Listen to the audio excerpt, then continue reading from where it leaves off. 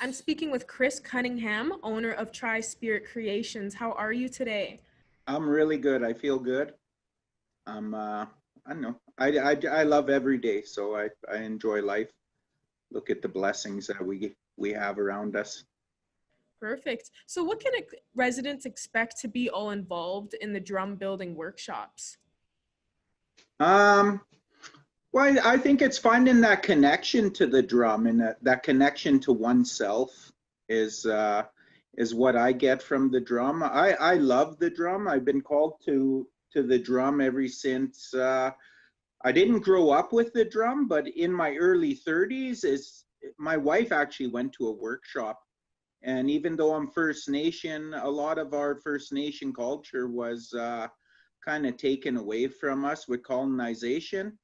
Like where even it was against the law to practice some of our culture in the past, in the recent past, like in the 1980s and stuff like that. So um, part of our culture was missing and growing up i always felt a sense of missing a piece of myself even though i hunted and trapped and like i'm first nation from sucker creek first nation but uh, the drum wasn't a big part of my my personal family so um, when my wife went to a workshop uh, i think i was 32 years old and she brought a, a drum back into the house and and when she hit that drum beat, it was something through that vibration that just went right through me. It was a, it was an instant call in that I needed the energy of the drum for myself, for just my person.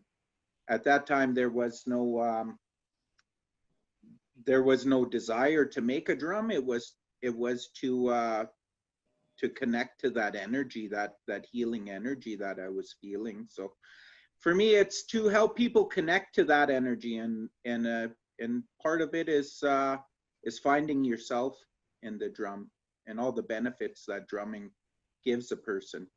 Yeah. And who else will be hosting this workshop with you guys this weekend? Um, well, Tara Hardy from Heart and Soul Essentials. And all the spots are full for this weekend, just for residents that don't know? Yeah, that's correct.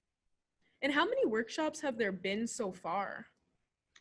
Um, sometimes I do about, uh,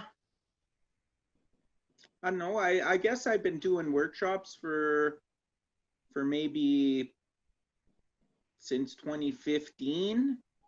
And in, in the first year, I probably only did a few, like three, but uh, some months we do between uh, like one to three workshops in a month. Some months, some months we don't do any. So it's kind of hard for me to give you an exact number, but if I was to guess, I would probably say I I've done maybe 30 workshops in the last few years, several years. Okay. And how do you avoid COVID 19 for these workshops just to help keep residents safe?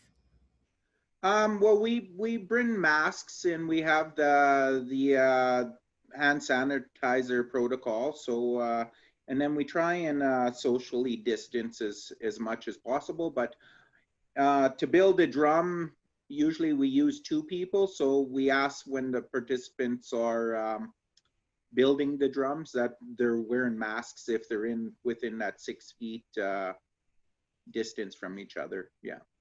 And has the support for these workshops remained strong since COVID 19 happened? I well, we at the first start of COVID nineteen, we uh, we canceled a bunch of workshops just because we were all uh, like everybody else in the lockdown, and uh, we didn't know how serious the COVID nineteen was at the time, mm-hmm. and uh, so we canceled a bunch of workshops at the start. But now that uh, the restrictions and the guidelines are in place, then we we've started uh, we started up again. Yeah. Can you kind of explain more on the process of what happens in these workshops? Yeah. Um, well, we start out with an opening circle, get to know everybody in the group. Um, I share a bit of drum teachings, and then uh, and then I bring all the materials already pre-cut and ready to build.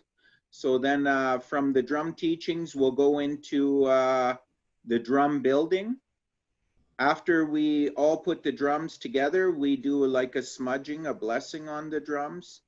And then uh, after that, we'll do a kind of closing circle. I like to uh, also use the flute, the native flute is uh, as one of my uh, sacred tools. So I also do a native flute uh, prayer song at the end of the workshop, and then we'll do a closing circle at the end, and then everyone gets to take their drums home with them. Perfect. Well, thank you so much for joining us today, Chris.